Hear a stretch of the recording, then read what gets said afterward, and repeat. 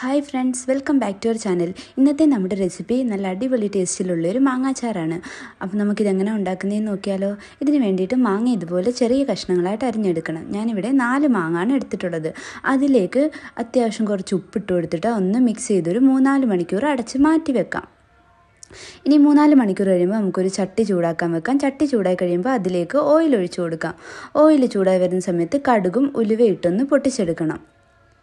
ഇതൊന്ന് പൊട്ടി വരുമ്പോൾ നമുക്കൊരു നൂറ് ഗ്രാം വെളുത്തുള്ളി ഇട്ട് കൊടുക്കാം. എന്നിട്ടിത് നന്നായിട്ടൊന്ന് ഇളക്കി മിക്സ് ചെയ്ത് ചെറിയൊരു ബ്രൗൺ കളർ ആവുന്നവരെ നമുക്കൊന്ന് ഇളക്കി കൊടുക്കാം. ഇനി നമുക്ക് കുറച്ചധികം കറിവേപ്പിലയും കൂടി ഇട്ട് കൊടുത്തിട്ട് ഇതിന്റെ എല്ലാം വെള്ളം മാറുന്നവരെ ഒന്ന് മിക്സ് ചെയ്തെടുക്കണം.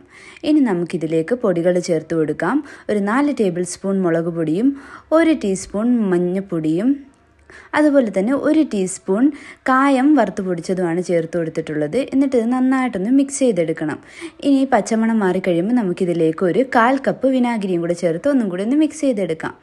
ഇനി നമുക്ക് നേരത്തെ തയ്യാറാക്കി വെച്ച മാങ്ങ ഇതിലേക്ക് ഇട്ട് കൊടുക്കാം. മാങ്ങയിൽ അപ്പോൾ കുറച്ച് വെള്ളമൊക്കെ ഉണ്ടാവും. അതും കൂടി ഇതിലേക്ക് ഒഴിച്ചു കൊടുക്കണം. എന്നിട്ട് ഇതെല്ലാം കൂടി നന്നായിട്ടൊന്ന് മിക്സ് ചെയ്തെടുക്കണം. ഏകദേശം ഒരു മിനിറ്റോളം മാത്രം മിക്സ് ചെയ്താൽ മതി. മാങ്ങ വെന്ത് പോകാൻ പാടില്ല. അപ്പോൾ നമ്മുടെ അടിപൊളി ടേസ്റ്റിലുള്ള മാങ്ങാച്ചാർ റെഡി ആയിട്ടുണ്ട്. എല്ലാവരും ഇതൊന്ന് ട്രൈ ചെയ്ത് നോക്കിയിട്ട് ഫീഡ്ബാക്ക് അറിയിക്കണം. ചാനൽ സബ്സ്ക്രൈബ് ചെയ്തിട്ടില്ലെങ്കിൽ ഒന്ന് സബ്സ്ക്രൈബ് ചെയ്യണേ. ആ ബെല്ലൈക്കണും കൂടി ഒന്ന് പ്രസ് ചെയ്തേക്കണേ. അപ്പോൾ ഓക്കെ ബൈ ബൈ